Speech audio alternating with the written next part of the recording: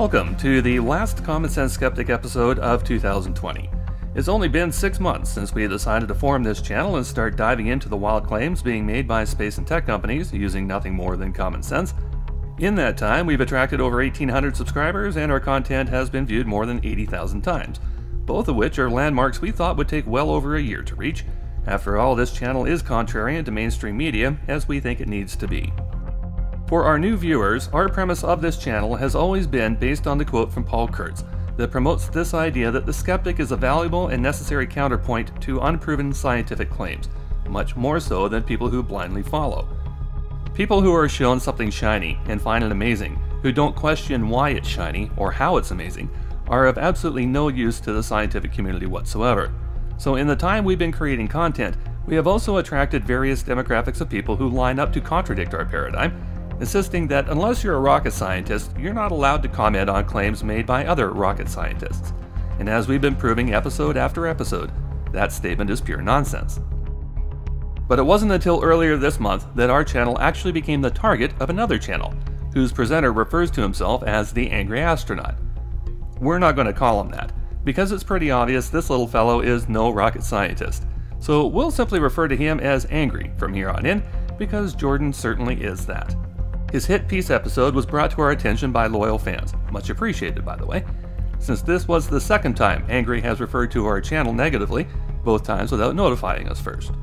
Angry is an on again off again subscriber to this channel, popping in to make comments on occasion, then disappearing, and apparently our strong growth mode is something he felt the need to cash in on with his sensationalistic headline of Starship has an enemy. Now, why would he do that?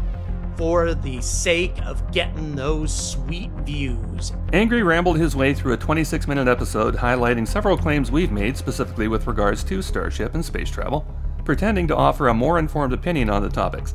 And in doing so, he demonstrated exactly why our channel is necessary, how our paradigm is attracting attention, and how easy it is to debunk sycophant channels such as his when they don't bother researching basic facts and ignore the citations we supply so they could actually research it themselves.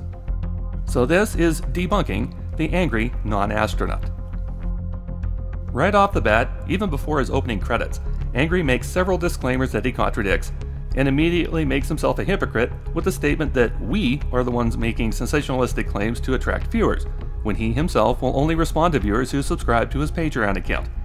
Our channel responds to as many questions on our feeds as possible, whether you pay us or not.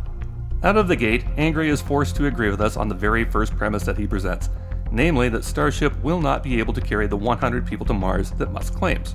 Then he goes on to pull a number out of thin air, not realizing where our numbers come from because he never bothered to look up the citation we provided. Musk says this machine will haul 100 people to Mars at a time. Angry's arbitrary number is 50. Ours is 17. And here's why ours is more accurate and likely even conservative. Musk has declared in published presentation materials that the interior pressurized volume of the Starship is 825 cubic meters. You can verify that wherever you like, but that's the number for the entire pressurized compartment of the 9 meter variant of Starship.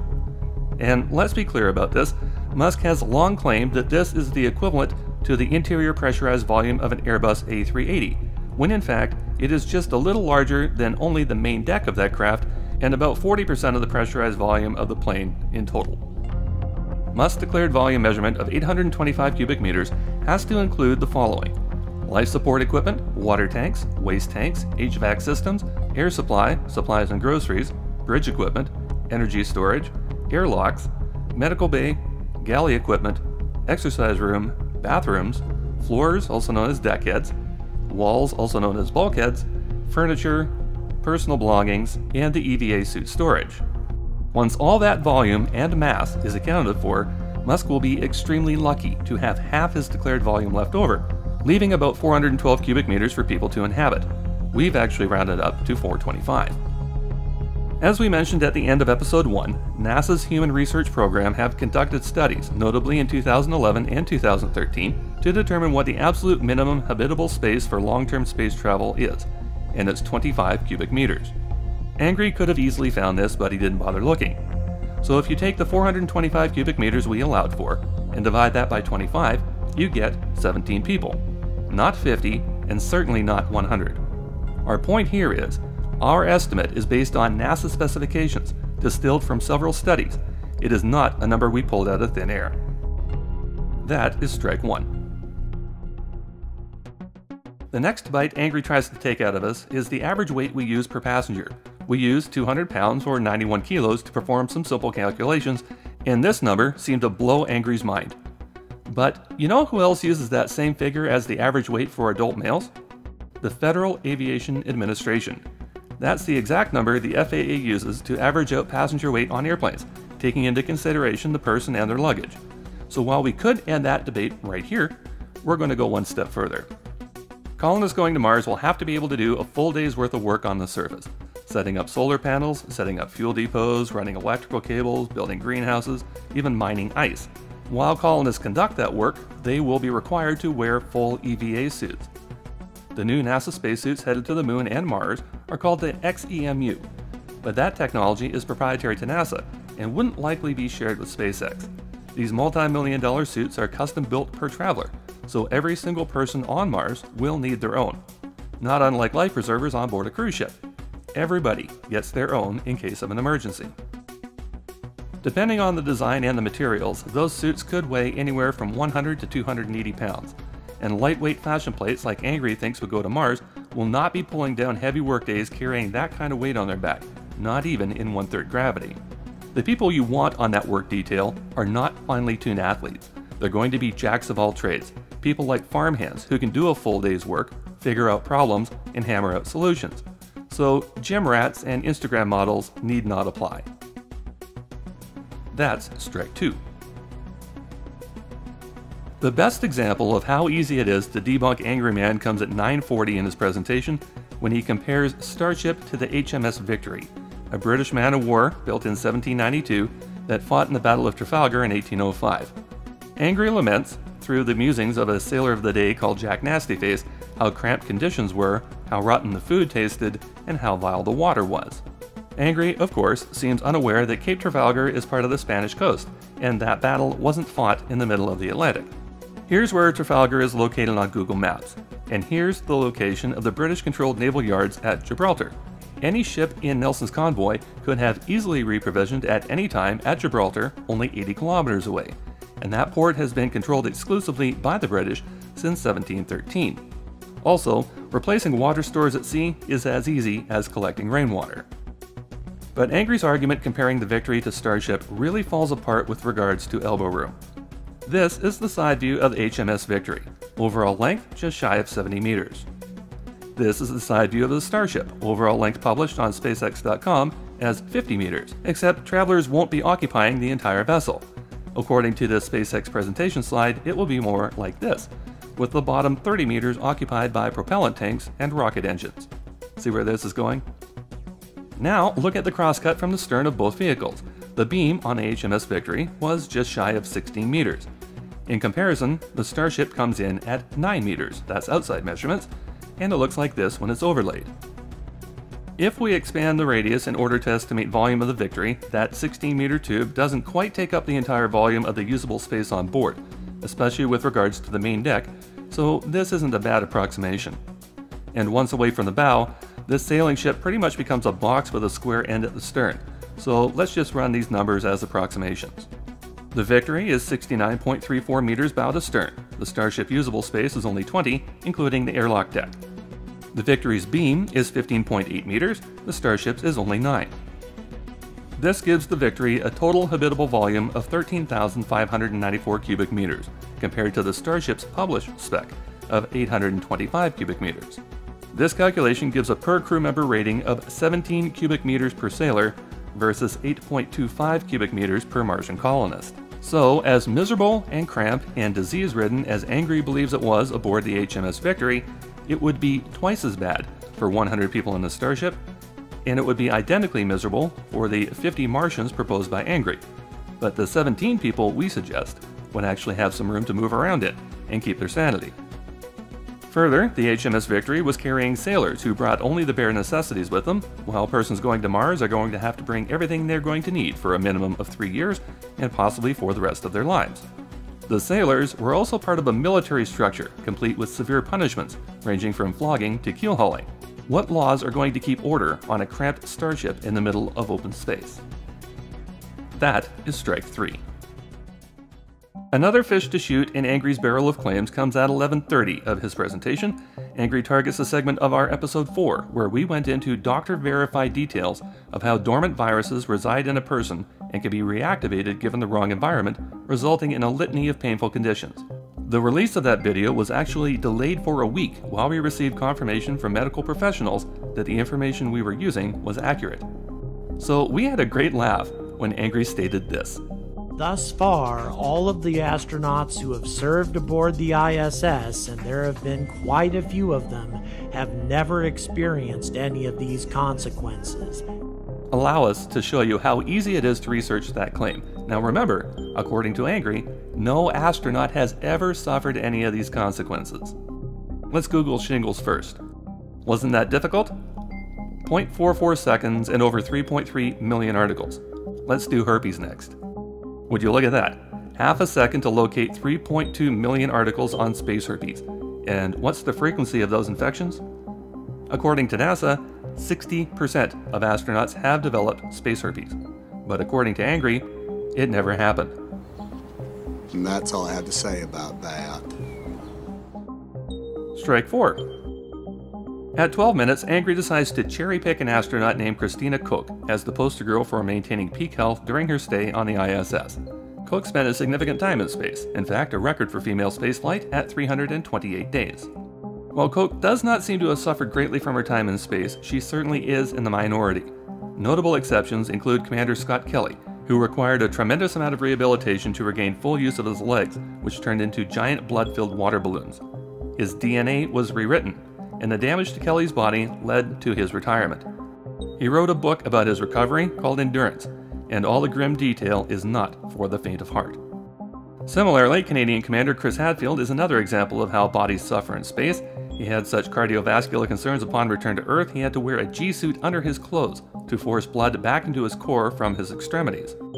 For a great recount of the months he spent in rehabilitation, you can search for the Joe Rogan Experience episode number 414, where Commander Chris Hadfield goes into great detail about how his body was affected by space. That video is no longer up on YouTube due to Joe Rogan's move to Spotify, but the audio is available as a podcast from several other sources. At 1240, Angry touches on the dangers of space radiation, agreeing with us that it is a concern, but he has convinced himself that Musk is taking this seriously, while Musk is actually on record at presentations as completely downplaying radiation, as we have shown several times, including in episode 11. Musk seems to be under the impression that GCRs, which tear apart your DNA, are no big deal. But let's hear that directly from the horse's ass again, shall we? But you didn't touch much on how you will keep humans safe on the way over there from either deep space radiation or how they will live on the planet. Can you give, give us some insight into the life support systems, habitats, stuff like that? So I actually think the radiation thing is, is, is um, it's often brought up, but I think it's not, not uh, too big of a deal. To clarify, no, we don't believe Musk is taking radiation seriously, and we're not alone. Strike 5. At 1540, Angry tries tearing into our episode 6 without having any understanding of what our premise was. We chose to go through the math on what it would take to provide bread to colonists on Mars, because bread is one of the most universally prepared foods on this planet. The flour from wheat has many other purposes, as we outlined in that episode, but Angry obviously skipped over the important bits because he calls this crop inefficient. Well, wheat is about as easy a crop as you could possibly hope to grow. You plant it, water it, fertilize it, and harvest it, all by hand if necessary. And wheat self pollinates, so that removes the need for pollinating insects. No special collection technique required for seeds. As crops go, it really is as simple as it gets. And what was Angry's solution for Martian groceries? He goes with that tired solution of vertical farming that people who are unaware so commonly use. We went into great detail in episode 9 about how energy and infrastructure intensive vertical farming is, and we suggest he take another look at that episode and take notes. In that episode, we also cover the growing requirements of tomatoes and or potatoes as primary staple stocks. But to top it off, Angry advocates the use of aquaponics on Mars. That would require live fish, which Angry believes can be transported as chilled eggs to Mars. He believes this because somebody told him that tilapia eggs only hatch when they are kept in warm water. But that does not mean eggs kept in chilly water can be kept indefinitely. In fact, according to the United Nations Food and Agricultural Organization on FAO.org, the hardiest fish eggs can only survive a day in transport under strict environmental conditions, including positive oxygen pressure and identical conditions as their spawn bed. If that's the case, colonists will not be taking live fish eggs to Mars. But if Angry would like to provide the citation that says tilapia eggs can be kept in stasis indefinitely, by all means, leave that in our comments section. One of the interesting things about aquaculture systems is that they use only male tilapia for the process, and there's a couple reasons why. Here's the video we used for episode 9 with that explanation. If they were to reproduce, we would be having tons and tons of small little spawn get through the filters that we have at the bottom of these tanks, ultimately get into our filtration over on the rock media, and if they were lucky enough, maybe even swim into our grow beds and become really, really hungry vegetarians. They would eat all of our roots until the point that we really wouldn't have a product. Also, in a population of tilapia, extremely aggressive behavior accompanies spawning. Male fish will attack and kill their competition in the system to win breeding rights. But if there are no females in the system to compete over, this aggression is completely tuned down. One of the reasons Angry apparently likes the idea of aquaponics is that he thinks that the fish negate the need for nitrogen based fertilizer, which really shows a basic lack of scientific literacy. Nitrogen is an element, it is not a compound created in the fish's body, so if you're not feeding them plant material containing nitrogen, the fish can't poop it out to fertilize your plants. And where do plants get their nitrogen from? Fertilizer. At 2130, one of the last points Angry takes issue with is our assessment of the potential energy of an explosion on the launch pad of a fully fueled starship, and he mutters some sort of virtue signaling nonsense about how it's disrespectful to victims to compare such a blast to Hiroshima, pretty much every major blast in the world that hits the news cycle is compared to Hiroshima, and there's no disrespect whatsoever intended. It's simply a well known historical benchmark and nothing more. Pretty much every news organization in the world compared the Beirut explosion to Hiroshima's Little Boy, which measured in at 15 kilotons. For those people who don't know what the term kiloton means, it is a comparative measurement of the shock wave generated by detonating 1 kiloton of TNT. That's right, nuclear blasts are measured directly against the metric using conventional explosives. We touched on the potential devastation of a starship at the end of our episode 5, called Orbital Refueling. We touched on it again in episode 7, and walked people through exactly how such a detonation would occur. Since all that is already on the episode, check it out later. What we're going to do for the shorthand rebuttal is focus on the Soviet N 1 explosion, and what that could possibly tell us about a Starship explosion. The second attempted launch of the Soviets' proposed lunar rocket, called N 1, occurred on July 3, 1969. The N 1 was a massive rocket with 30 engines that came crashing back to Earth, resulting in the largest non nuclear man made blast on record. The machine carried 680 tons of RP 1 propellant and 1,780 tons of oxidizer, which were separated into eight spherical paired fuel cells that were isolated from each other and away from the sides of the ship. With Starship, in combination with Super Heavy, it is proposed to carry twice the mass of propellant and LOX, totaling 4,600 metric tons. There is a common header separating the tanks in each vehicle, and the side of the ship is the side of the tank. When the N1 launch failed, the top capsule's tractor abort system was initiated, and that took the top blocks away from the launch pad before the rest of the vehicle impacted at a 45 degree angle. Because of the tank separation on the N1, it was determined that only 15% of the propellant detonated on impact, and the remaining fuel cells burned off as they were breached. For 30 minutes, burning fuel from that detonation rained down from the sky across the blast site, which decimated the Soviet launch complex and threw shrapnel as far as 10 kilometers away. Angry likes to use the lowest kiloton ranking of this explosion at 1 kiloton, but estimates have ranged as high as 7 kilotons. Let's use Angry's 1 kiloton number first. The Starship carries twice the propellants as the N1, so multiply by 2. In the N1 detonation, only used 15% of the propellant on impact, so you multiply by 7. Even if the lowball number Angry uses is accurate, based on the N1 yield as a full tank detonation of Starship, it could hit 14 kilotons. The yield from Little Boy was 15 kilotons, so that's pretty much even money. But if the yield estimates up to 7 kilotons for the N1 explosion are more accurate, that number jumps to 7 times 7 times 2 or up to 98 kilotons. The actual number is probably somewhere in the lower middle, mid 20s, for a full out RUD consuming all tanks simultaneously. And eventually, if Musk keeps this up, we will get to see firsthand how destructive such an explosion will be, because it is a mathematical certainty that this system will not enjoy a 100% safety record. That pretty much wraps up the list of claims Angry tried taking on from our videos, but it seems he's one of these fire ready aim producers that's in this for the money, so he'll probably take another swing at us when he needs some cash. But honestly, the last two minutes of his video are what really cements his position as a muskrat, despite his claims to the contrary. At 2530, he makes this statement to remove all doubt. And that establishing a second home for the human species, which is absolutely essential to our survival.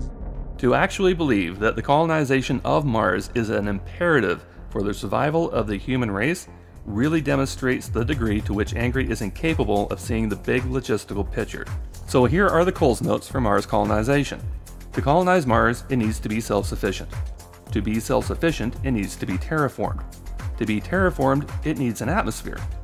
To keep an atmosphere, it needs a magnetosphere. And to have a magnetosphere, the core of the planet must be molten and rotating. Since the core of Mars died around 4 million years ago, the very first step in that process becomes a non starter for every other step. Will humans visit Mars? Sure, eventually, but not through scams like Mars One or the nonsense that SpaceX is pushing, like the goal of a million person city on Mars by 2050. NASA already has plans to get astronauts to and from Mars in the 2030s. Their partner for Martian missions is ULA, who have already delivered payloads to Mars 20 times including the 2020 launch of Perseverance due to touchdown on the surface of Mars in February 2021. Longer term manned explorations on Mars will likely be small science stations with rotating crews, so as not to leave any dead bodies behind. And those expeditions will have to bring everything they're going to need for their stay. Maybe these stations will be located underground in lava tubes to protect from radiation and micrometeorites. But will we ever see a SpaceX sponsored city of a million people breathing fresh Martian air produced by millions of trees planted on the surface as Angry claims we will? No. No, we will not. Even with all the errors Angry made during his hit piece, the biggest one he made was right in the title frame. Starship doesn't have an enemy, it now has a skeptic. And apparently, neither Angry nor his viewers are capable of telling the difference, or even comprehending simple concepts. The thing is, if you're going to take a swing at us, or any other channel, you better make sure you don't strike out. Thanks for tuning in to this episode of The Common Sense Skeptic. A little bit of fun to wrap up 2020 with, and we're going to go into the new year with a full production schedule. To have your idea for a future episode considered, include it in the comments below.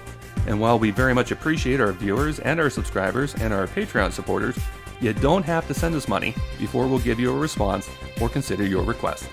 Just give this video a like, share it with your friends, and hit the subscribe button so that you'll know when the Common Sense Skeptic returns in January 2021.